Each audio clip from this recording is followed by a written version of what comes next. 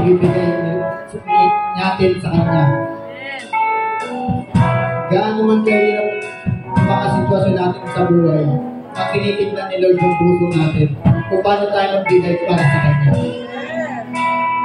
At si Lord ang magbibigay at, at, at magbabalik niya sa atin. Habang nagbibigay po tayo, sa mga tayo ng na para sa atin. Only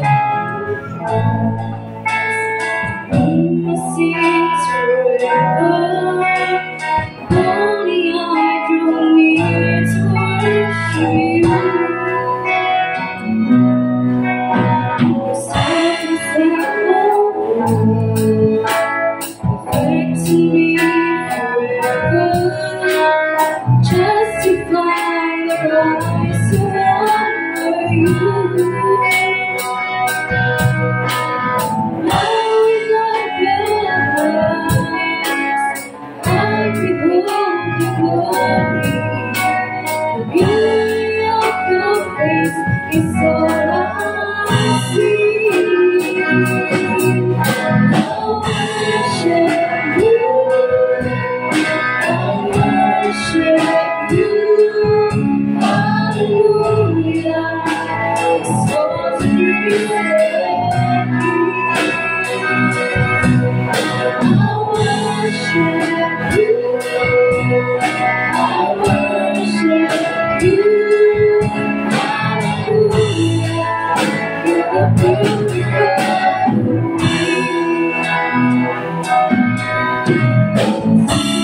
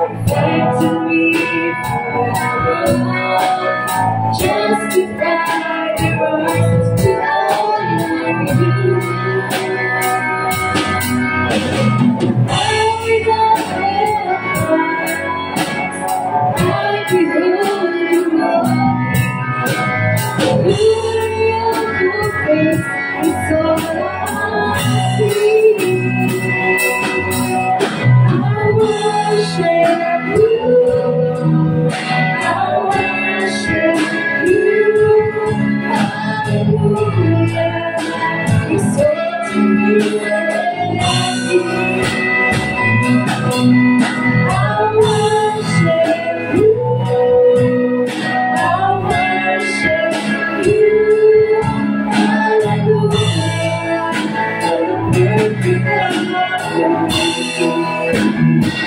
you.